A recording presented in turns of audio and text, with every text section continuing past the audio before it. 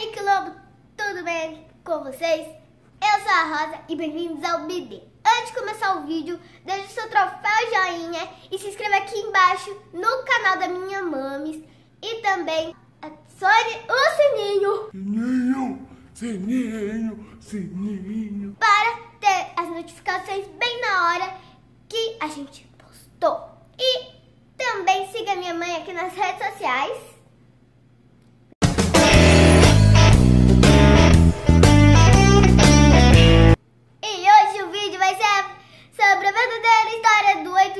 Março porque minha mãe se enganou com a história. Ô, oh, o que, que você tá fazendo, mano? Você se enganou com a história do 8 de março? E aí, você vai gravar um vídeo no meu canal? Eu vou gravar um vídeo diferente. Não, peraí, calma. Não, não é assim. Como assim eu, eu, eu me enganei com a história? Ué, você falou como é a origem do 8 de março. E não é essa a origem. Ah, é verdade. Tem um cartão. Vamos colocar esse vídeo aqui no cartãozinho para as pessoas verem que em geral é a história que todo mundo conhece sobre indústria têxtil e incêndio, afins. Está aqui, é um vídeo que eu fiz na época da faculdade. E aqui embaixo tem o livro que eu me baseei nas informações para contar as coisas que a Rosa e eu a gente sabe sobre a origem do 8 de março, tá? É um livro chamado Origem do 8 de Março, da expressão popular. O link tá aqui na descrição do canal. Mas vamos lá, porque 8 de março é Dia Internacional de Luta das Mulheres. Tem muita coisa acontecendo, tem greve, tem movimentação das mulheres em vários lugares do, do mundo esse ano. É, tem em todos os lugares, mas tem uma origem isso, né? É Por que, que essa data é importante? É, tem 10 no número do ano. Isso. Mas antes de a gente começar a ir lá, lá atrás, é importante lembrar que a ONU ratificou a data do 8 de, de março nos anos 70, justamente por conta da luta pelo direito das mulheres. Mas essa história, como a Rosa está falando, ela vem bem lá de trás, né? Tem 10, Tem é 10, tem 10 no número e o 10 é de 1910 foi quando apareceu a primeira vez uma propositura na segunda Conferência Internacional de Mulheres Socialistas pela Clara Zetkin. Mas eu sei que é, são outras pessoas que são as principais da história. É verdade.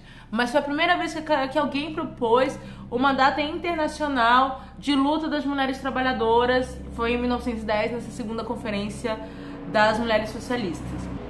Alguns anos depois, é, várias, várias sessões da Internacional ali naquele momento faziam as suas comemorações de Dia Internacional de, das Mulheres em 8 de março. E uma dessas, uma dessas comemorações era no dia 23 de fevereiro na Rússia. Mas... E aí, quando a gente fala 23 de fevereiro, né? Todo mundo, ah, mas o que, que 23 de fevereiro tem a ver com 8 de março? Porque na Rússia o calendário é diferente. Isso mesmo. O dia 23 de fevereiro russo é o 8 de março aqui do nosso calendário. E foi nessa data, em 1917, que aconteceu o que, Rosa? Que aconteceu 8 de março. o que aconteceu? Em 1917, no dia 23 de fevereiro de 1917, pelo calendário russo, as mulheres estavam se organizando para fazerem suas atividades de comemoração e de lembrança do 8 de março é, ali. Só que a vida estava muito dura na Rússia naquele momento. Né? A Rússia era um feudo, era um sistema feudal, não era nem capitalista ainda, era um negócio anterior. E aí elas viraram e decidiram que estava na hora de chutar o balde e que precisava entrar em greve. E aí foram lá as mulheres têxteis de Petrogrado iniciaram uma greve que se instaurou num processo de ampliar greves e manifestações e mobilizações pelo país inteiro ali na Rússia, que foi culminar em outubro de 1917 com a Revolução Russa, que esse ano faz 100 anos. 100? 100 anos. E é assim, foi muito importante, inclusive, porque foi nessa movimentação é, pré-revolucionária e revolucionária, que as mulheres na Rússia elas conquistaram alguns direitos muito importantes, como por exemplo o direito ao divórcio, a legalização do aborto.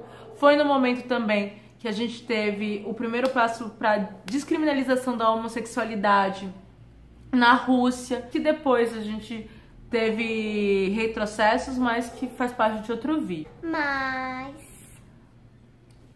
Mas a vida poderia ter se resolvido só naquele 1917, mas a gente continua. Ou nos anos 70, quando a ONU ratificou a data do 8 de março, Você... né? Poderia estar melhor a nossa vida agora, não poderia? Mas a gente continua na luta. Porque ainda existe machismo, as mulheres negras é, e as mulheres indígenas são profundamente é, violentadas cotidianamente, seja do ponto de vista de feminicídio, ou seja, não a garantia das suas terras, como as mulheres indígenas.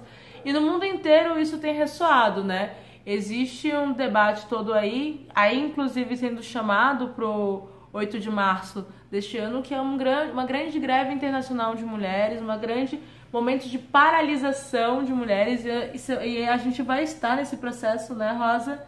A gente vai estar tá lá, até porque todos os 8 de março a Rosa tá lá e a gente vai para lá, a gente vai aqui em São Paulo se juntar com o movimento feminista de São Paulo e também depois com as professoras, tanto da rede estadual quanto da rede municipal, que, que estarão em processos de assembleia, para podermos fazer um grande dia de luta onde vai se falar da reforma da Previdência que o Michel Temer está querendo colocar a goela abaixo pra gente. Quem mais vai sofrer somos nós, mulheres, né? é para falar sobre a nossa vida, porque a nossa vida importa e a gente está parando por conta disso. É pedindo o fora golpe, fora Temer. Uma por todas e, e todas, todas, por um. um. E até o próximo vídeo.